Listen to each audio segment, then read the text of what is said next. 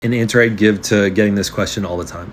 What was the turning point that had you realize that you needed to take on more of the mental load? Like, when did things sort of click into place? I think throughout paternity leave, which I took four months of, I really further understood what domestic labor was. I still didn't understand mental load. It was reading of the book Fair Play which I am now a facilitator for, that I think was a real turning point for me. And I think the reason that it worked was because I now had language to describe something. Someone asked me on a podcast the other day, what did I need to hear in like 2019, which was two years before our child was born, that might have made a difference for me understanding mental load. And I honestly think it was just language.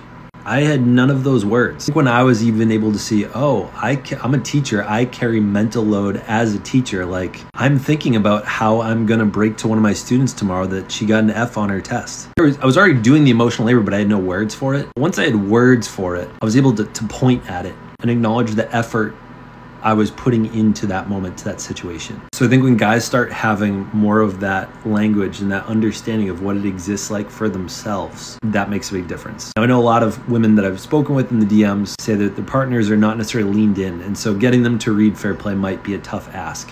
But I think starting to consistently use some of those words around the home makes a big difference. Hi, my name's Zach. I'm a recovering man child. Hi, Zach. I work with guys specifically on making these changes in their relationship. Book a relationship goals consult if this is something that your family wants to invest in.